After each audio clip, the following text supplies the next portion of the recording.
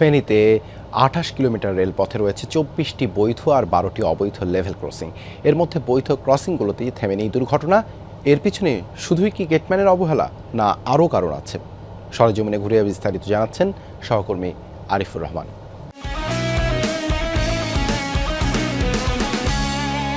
কোনো রেল ক্রসিংয়ে দুর্ঘটনা ঘটে তখনই দুটি নাম আসে। এক হচ্ছে গেট, আরেক হচ্ছে গেটম্যান। ট্রেন চলা অবস্থায় এই গেট ফেললে জীবন বাঁচবে আর না হয় মরবে। এ সকল গেটম্যানদের খবর কি কেউ কখনো রেখেছে? আজ জানব। দীর্ঘদিন গেটম্যানের কাজ করছেন রাকেশ চক্রবর্তী। জানালেন, গেট ঘরে নেই সিগন্যাল জলে না বাতি, সামান্য বেতনের চাকরি, অথচ ভুলেই শাস্তির মুখোমুখি। আমরা ছয় বছর পর্যন্ত ডিউটিরত আছি, কিন্তু আমাদের পারমেন্ট করতেছে না।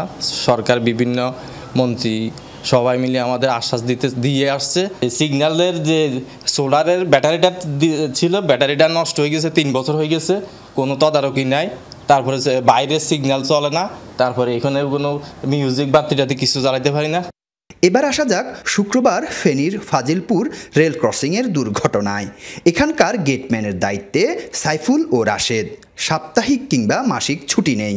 কাজ করতে হয় টানা বারো ঘণ্টা টানা পরিশ্রমে কাজের প্রতি উদাসীনতা এবং জনবল সংকটে যাকে তাকে দিয়ে গুরুত্বপূর্ণ দায়িত্ব দেয়া দুর্ঘটনার অন্যতম কারণ বলে মনে করছেন স্থানীয়রা।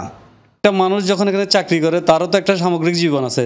তার একটা বাথরুম দরকার একটা পাখা দরকার একটা থাকার মতো পরিবেশ তো দরকার। তারও তো এরকম কোনো পরিবেশ এখানে আমরা দেখতেছি না। জনের পক্ষে সপ্তাহে সাত দিন মাসে তিরিশ দিন কাজ করা সম্ভব না। এই জন্য অল্টারনেটিভ দুইজন ওইভাবে রাখার প্রয়োজন। দুর্ঘটনার কারণে গেটম্যান যারা ছিল তারা তো এখন নাই আপাতত।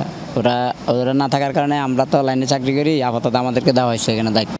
জেলার আটাশ কিলোমিটার রেলপথের চব্বিশটি ক্রসিংয়ে তিনজন করে গেটম্যান থাকার কথা। অথচ বেশিরভাগ জায়গায় দুজন। সব গেট ঘরে নেই বিদ্যুৎ। থাকা খাওয়ার ব্যবস্থা নেই। নেই শৌচাগার। চাকরিও অস্থায়ী। এত সমস্যার সমাধান নেই বলে জানালেন ঊর্ধ্বতনরা। মধ্যে আমার গেটম্যান আছে হচ্ছে বিয়াল্লিশ জন তার মানে হচ্ছে এই বারো জন শত আছে। ছুটি আসলে নাই আমার নিজেরা তো ছুটি পাই না আমরা নিজেরাই যদি কোনো ইমার্জেন্সি ইয়ে থাকে সেক্ষেত্রে আমরা ওই লাইনটাকে লোক দিয়ে ওই গেটটা চালাই নেই। শিফটিং এর সময় ডিউটি চেঞ্জের সময় পরবর্তী গেটম্যান যে আসবে সে একটু লেট করে আসে। ওই পরবর্তী গেটম্যান আসতে যে সময় লাগে এই সময়টা পূর্ববর্তী গেটম্যান থাকে না চলে যায়। তখনই দুর্ঘটনাগুলো ঘটে। জনবল বাড়িয়ে সংকট দূর করার দাবি সচেতন মহলের। আরিফুর রহমান যমুনা নিউজ ফেনী।